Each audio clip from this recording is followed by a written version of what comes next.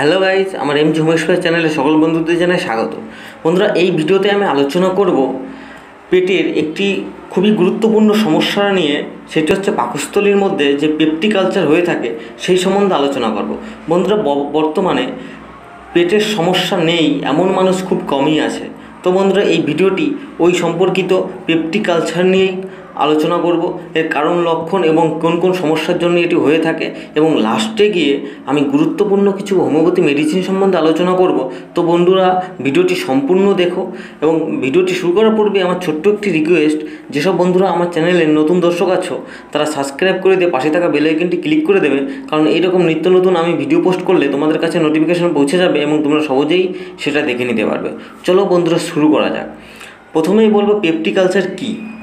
আমাদের প্রথমেই জানা দরকার পেপটিক আলসার কী? আলসার আসলে একটি সাধারণত বিশৃঙ্খলা যা পেটের মধ্যে অবস্থিত পাকস্থলী এবং ক্ষুদ্রান্তের প্রথম অংশ, যার নাম ডিওডিনাম। এদের গা, এদের গায়ে ক্ষত বা ঘা তৈরি হয়। অত্যাধিক পরিমাণে পাকস্থলী থেকে নিঃসৃত অ্যাসিড ও পেপসিন বা মিউকাস ক্ষরণের জন্য। ফলে ভারসাম্য নষ্ট হয় দেখা যায় কখনো মিউকাস কম এবং অ্যাসিড বেশি ক্ষরণ হচ্ছে। এই কম বেশি ক্ষরণের জন্যই যথাক্রমে গ্যাস্ট্রিক আলসার ও ডিওনিনাম আলসার বা ক্ষত বা ঘা সৃষ্টি হয়ে হয়ে থাকে। এই আলসার সাধারণত দুই ধরনের হয়ে থাকে। একটা হচ্ছে অ্যাকুইট বা নতুন ঘা এবং ক্রনিক বা পুরাতন ঘা।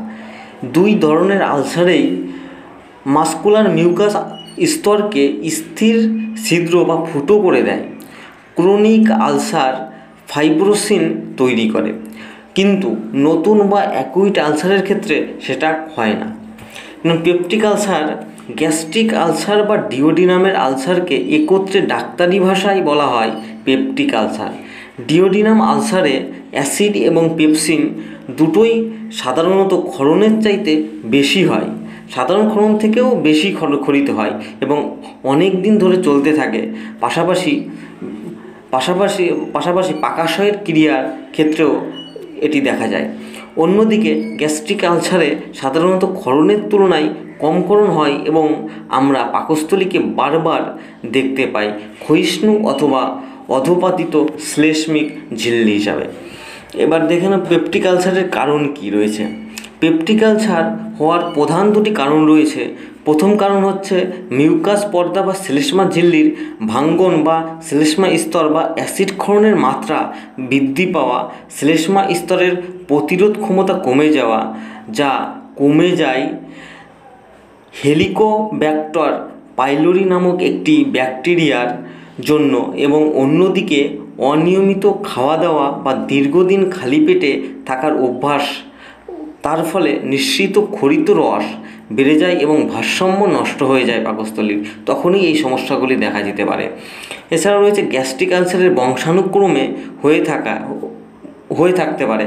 বংশানুক্রমিক হয়ে থাকে গ্যাস্ট্রিক আলসার। এমনও হতে পারে। ক্রনিক গ্যাস্ট্রিক আলসারের ক্ষেত্রে রোগীর ক্রনিক গ্যাস গ্যাস্ট্রাইটিস হওয়া একটা সাধারণ লক্ষণ। ডিওডিনাম আলসার প্রধানত শরীর শারীরিক, অনিয়মিত এবং অত্যাচারজনিত কারণে হয় এবং অনেক সময় পাইলোরিক স্পিংটারের স্বয়ংক্রিয়া এবং নিষ্ক্রিয়তার জন্যও হতে পারে। এবার দেখে নেব গ্যাস্ট্রিক আলসার ও ডিওডিনাম আলসারের কিছু লক্ষণ। সেই লক্ষণগুলি কী কী রয়েছে সেইগুলি দেখে নেব।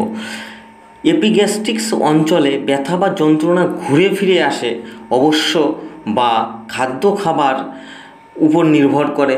আবার কখনো পিঠের পাখনার মাঝে স্কুপুলার রিজন থাকে।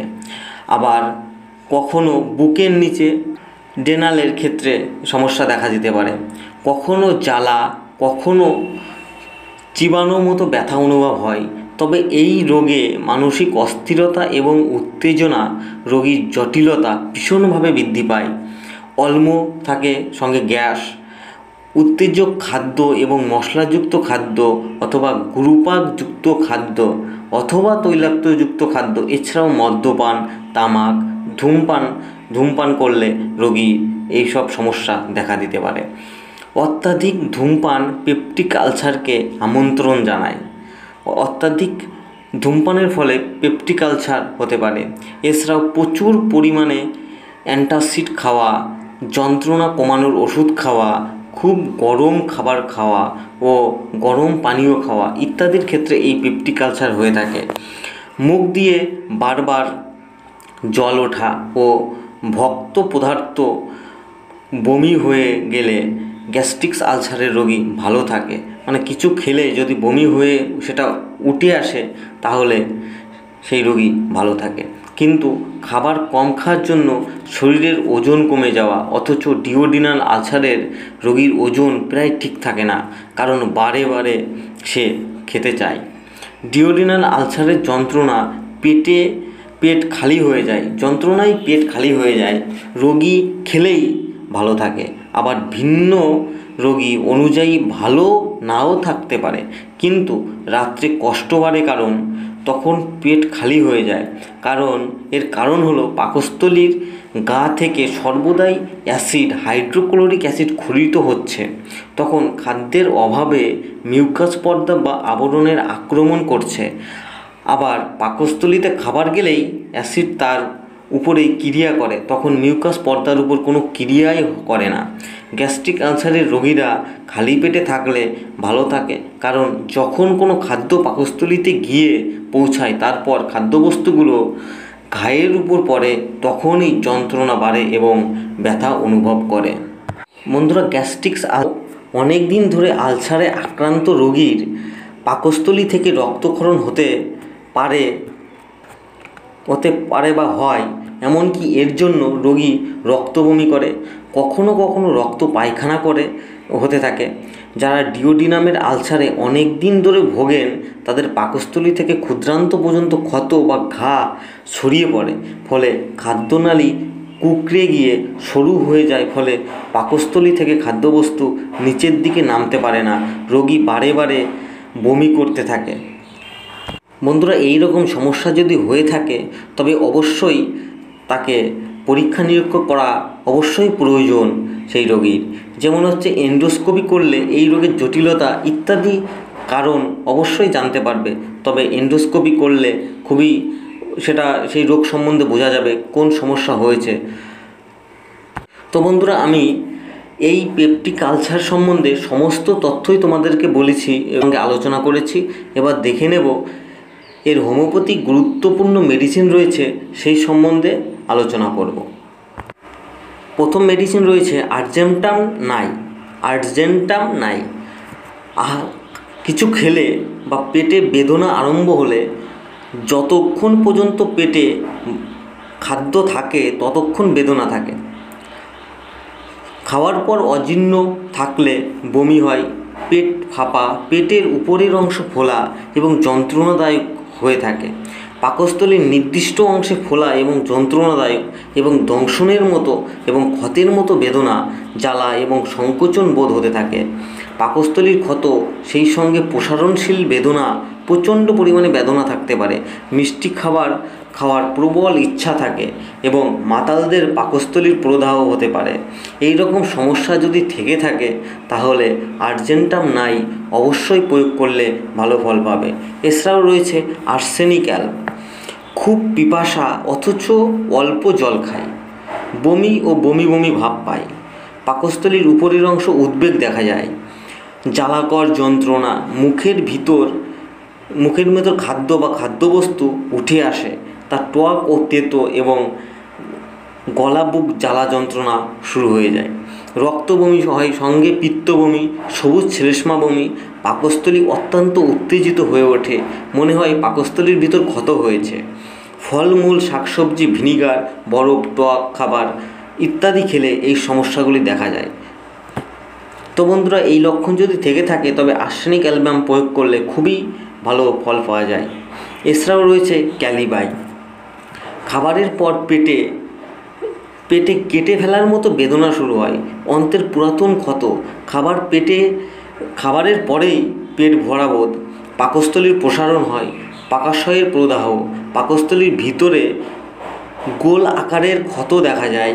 জলে বিতৃষ্ণা, জল খেতে চায় না, মাংস হজম করতে পারে না, টক জিনিস পছন্দ করে। এই রকম সমস্যা থাকলে ক্যালিবাই প্রয়োগ করলে অবশ্যই ভালো ফল পাওয়া যাবে। এছাড়াও রয়েছে হাইড্রাস্টিস ক্যান পাকস্থলীর ক্রিয়া শিথিলতার জন্য অজীর্ণ হয়ে যায়। পাকস্থলীর ক্ষত এবং ক্যান্সারের ক্যান্সারের সৃষ্টি হতে পারে। পাকস্থলী ও ক্ষুদ্রান্তে ডিওডিনামের প্রদাহ হতে পারে। রুটি রুটি ও শাকসবজি খেতে পারে না। পাকস্থলীর ভিতর একটানা টাটানি ব্যথা অনুভব হয়। এই রকম সমস্যা থাকলে হাইড্রাস্টি স্ক্যান ব্যবহার করলে খুবই ভালো ফল পাওয়া যায়। এছাড়াও রয়েছে সিমফাইটন, যেমন হচ্ছে গ্যাস্ট্রিক আলসার ও ডিওডিনাম আলসারে এটি মূলতই ব্যবহৃত হয়ে থাকে। সিমফাইটম এটি মূলত গ্যাস্ট্রিক আলসার এবং ডিওডিনাম আলসারেই ব্যবহৃত হয়। পাকস্থলীর ক্ষত এবং মধ্যাহ্ন মধ্যা মধ্যাহ্নে ক্ষত যদি হয়ে থাকে, তাহলে এই সিমফাইটম ব্যবহার করা যেতে পারে। এছাড়াও রয়েছে ইউরেনিয়াম নাই, প্রচণ্ড পিপাসা ও বমি খেলেই পেট ফাঁপে, রাক্ষসের মতো খিদে অনুভব হয়। পাকস্থলীর নিম্নমুখে ছিদ্র করার মতো বেদনা, পাকাশয় এবং মধ্যাহ্নে ক্ষত দেখা যায়। জ্বালাকর বেদনা, বায়ু সঞ্চর এবং পেটে পেট ফুলে থাকে, সবসময় পেট ফোলা ফোলা ভাব থাকে, কিছুই খেতে ইচ্ছা করে না। এই রকম সমস্যা যদি থেকে থাকে, তাই ইউরেনিয়াম নাই প্রয়োগ করলে খুবই ভালো ফল পাওয়া যায়। এছাড়াও রয়েছে গুরুত্বপূর্ণ মেডিসিন জিরো, জিরেনিনাম ম্যাকু, জিরেনিয়াম ম্যাকু। পাকস্থলীর ক্ষত এবং পাকস্থলীর সর্দি প্রদাহ বা পাকস্থলীর ক্ষত থাকার জন্য বমি হলে বা রক্ত বমি হলে এই ওষুধ ভীষণভাবে কার্যকরী এবং তাড়াতাড়ি রক্তময় বন্ধ হয়ে যায়। এই রকম সমস্যা যদি থেকে থাকে, তবে জিরোনিয়াম জিরে, নিয়াম, ম্যাকু প্রয়োগ করলে খুবই উপকার পাবে। তো বন্ধুরা, যে মেডিসিনগুলো সম্বন্ধে আলোচনা করেছি সেই মেডিসিনগুলো যদি তোমাদের প্রয়োগ করতে হয় বা কোনো রকম সমস্যা এইরকম সমস্যা থেকে থাকে, তাহলে একজন ভালো ডাক্তারের সঙ্গে পরামর্শ নিয়ে অবশ্যই প্রয়োগ করতে পারো। তো বন্ধুরা, ভিডিওটি এখানেই শেষ করছি। ভিডিওটি দেখে যদি তোমাদের ভালো লাগে এবং কোনো রকমভাবে উপকৃত হয়ে থাকো এই ভিডিওতে, তাহলে অবশ্যই ভিডিওতে একটা লাইক কমেন্ট এবং বন্ধুদের কাছে শেয়ার করতে ভুলবেন না। ওকে বন্ধুরা বাই